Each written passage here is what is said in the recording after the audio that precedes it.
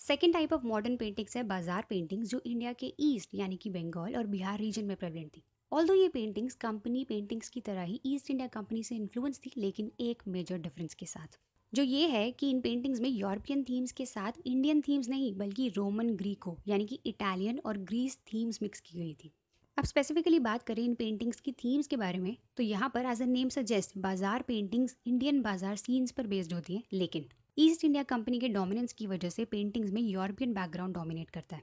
जिसका famous example है ये इंडिया की रिलीजियस थीम्स पर बेस्ड पेंटिंग्स जिनमें एक्सेस होल्ड करने वाले गॉड फिगर्स और एलिफेंट फेस गॉड और गॉडेसेस जैसे कि लॉर्ड गणेशा कम्प्लीटली बैंड है।